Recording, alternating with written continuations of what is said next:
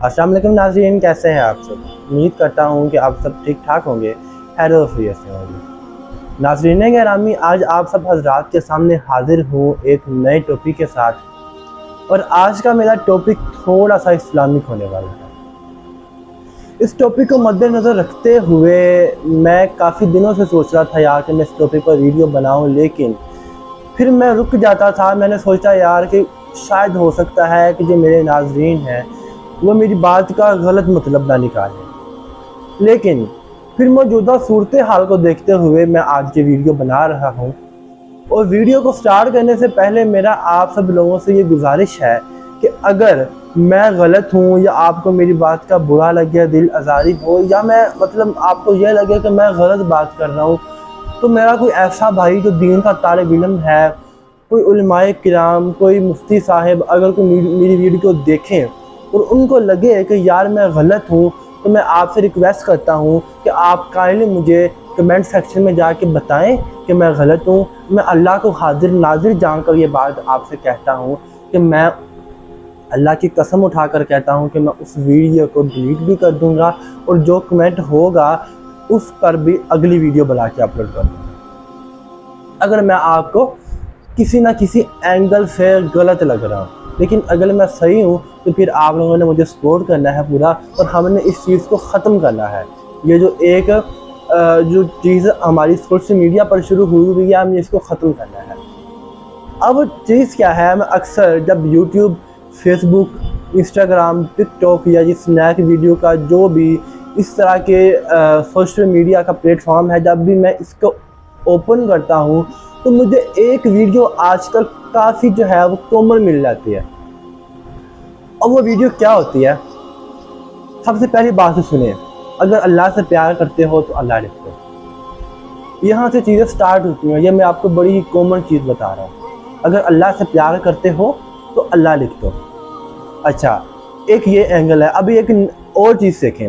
वो ये होती है कि तुम्हें कसम है कि तुम अल्लाह लिख दो अच्छा नंबर थ्री पर क्या होता है कि तुम्हें कैंसिल हो जाए अगर तुमने अल्लाह ना लिखा तो। नंबर फोर पर यह बात होती है कि तुम्हारा मोबाइल टूट जाए अगर तुमने अल्लाह ना लिखा तो। अच्छा नंबर फाइव पर यह बात होती है कि तुम्हारा हाथ टूट जाए अगर तुमने अल्लाह ना लिखा तो। लाइक इस तरह के अल्फाज होते हैं और उसके अलावा एक और चीज़ होती है जैसे ही हम इस वीडियो को आ, मतलब हमारे सामने आती है क्योंकि आपको पता होता है कि फेसबुक इंस्टाग्राम पर चाहे वो कोई रील की वीडियो है या कोई बड़ी वीडियो है, वो ऑटो प्ले पे लगी होती है।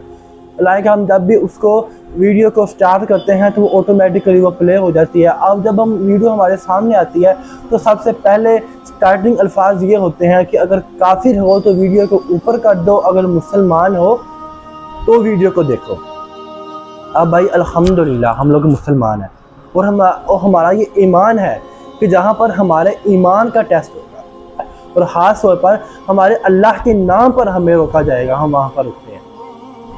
हम पर फ़र्ज़ हो जाता है ये चीज़ तो हम अक्सर लोग वहाँ पर रुकते हैं। अच्छा फिर जो उसका आगे का सेंटेंस ये होता है कि तुम रुक गए हो, इसका मतलब ये है कि तुम मुसलमान हो, तुम काफिर नहीं हो। फिर क्या होता है? फिर अगली बात ये होती है, फिर आगे आगे वो बंदा ये कहता है कि अगर रुक गए हो तो इस वीडियो को लाइक कर दो कमेंट में अल्लाह लिख दो एक नई चीज़ और ऐड हो जाती है कि इस वीडियो को शेयर भी कर दो। तो मेरी उन हजरात से ये दिली इतमास है भाई कि ये जो आप दीन के ठेकेदार बने हुए हो, इस चीज़ से बाज आ जाए खुदारा इन चीज़ों से रुक जाओ यार। वो नाम इतना आलियो शान, इतना बड़ा नाम है वो कि उसको आपकी कस्मों की ज़रूरत नहीं है। कि अगर आप कस्में खाओगे तो फिर वो नाम लिखा जाएगा। वो नाम बस इधर इधर होना चाहिए। दिल में बसा होना चाहिए। वो काफ़ी है। और अगर मेरा कोई भाई, मेरी कोई बहन, अगर वो चाहते हैं कि वो अल्लाह का नाम लिखकर फेसबुक पर पोस्ट करें तो ये बहुत अच्छी बात है। और उसका ऐसा तरीका ये है कि वो आए, आकर वो जहाँ पर लिखा जाता है पोस्ट अपनी तरफ़ से टाइप की जाती है, वहाँ पर अल्लाह का नाम लिखे और पोस्ट कर दें। ये बहुत ही अच्छी बात है बहुत ही ऐसा तरीका है। लेकिन फिर इस चीज़ पर आकर रुक, रुक जाना कि तुम्हें कसम है तुम लिखोगे अगर ना लिखा तो कैंसर हो जाएगा ना लिखा तो हाथ टूट जाएगा ना लिखा तो काफिर हो जाओगे नाउज बिल्ला माजल्ला कहाँ की सियानत है यार? आप मुझे एक बात बताएँ मैं सीते मुसलमान क्या हमें ये चीज़ें शोभा देती हैं? पता नहीं यार क्यों हम लोग हम लोग समझते नहीं हैं। और आपको एक मज़े की बात बताऊँ आप लोग, आप लोगों की दिल आज़ारी होगी। मज़े की बात बताऊँ, ये लोग, मैं कहता हूँ, अस्सी परसेंट लोग ऐसे होते हैं जो सिर्फ़ ये काम इसलिए करते हैं ताकि उनकी वीडियो वायरल हो जाए।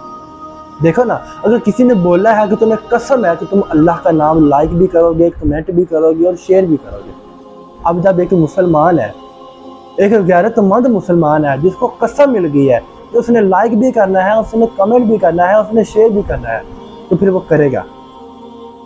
इससे उस बंदे को क्या फ़ायदा है कि उसकी वीडियो को एक लाइक मिल गया, एक कमेंट मिल गया और एक शेयर मिल गया?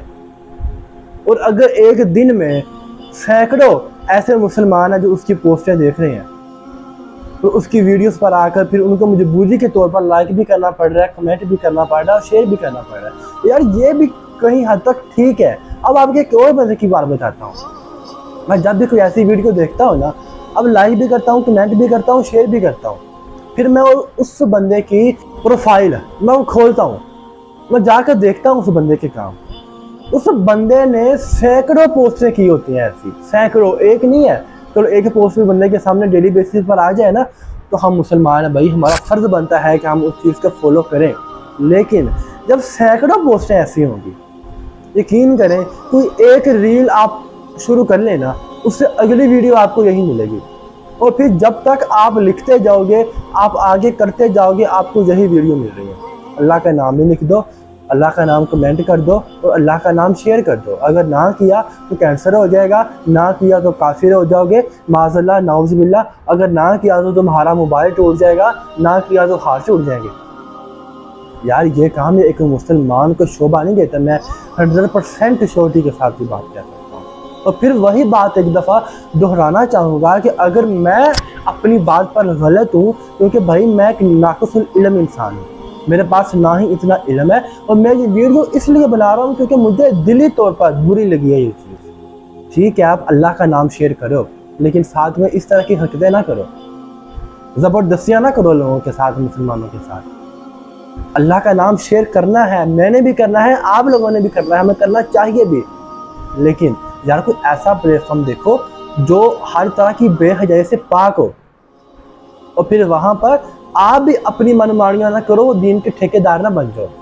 वहाँ पर आप भी बड़े ऐसा तरीके से जाओ, अल्लाह का नाम लिखो और पोस्ट कर दो। मैं हंड्रेड परसेंट श्योरिटी दे के ये बात कहता हूँ कि जो सच्चा मुसलमान उस वीडियो को देखेगा, वो उस वीडियो को लाइक भी करेगा, उस वीडियो पर कमेंट भी करेगा, उस वीडियो को शेयर भी करेगा।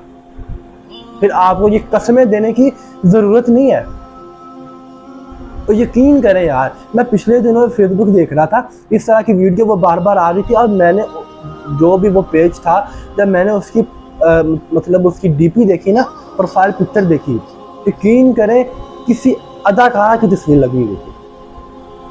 तो कुछ शर्म या नहीं है हम लोगों को? कि हम अल्लाह का नाम शेयर कर रहे हैं वो इस तरह की बेहद है कि हम तस्वीर लगा रहे हैं उस पेज की डीपी पर।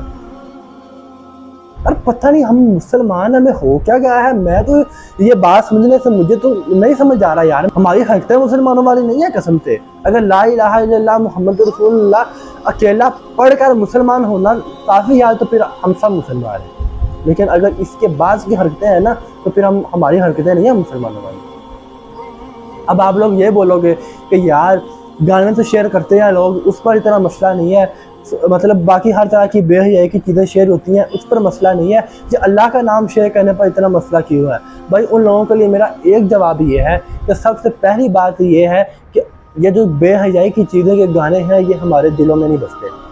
अगर इनकी बेहरमती होगी, अगर ये जलीलो ख्वार होंगे, हमें इससे घंटा फ़र्क नहीं पड़ता तो जो मर्ज़ी कर लोग इनके साथ। जो चीज़ हमारे दिलों में बसती है, जब उसके साथ ऐसा सलूक होता है ना हमारी दिल आज़ारियाँ होती हैं। बेखुदारा बाज आ जाओ इन चीज़ों से।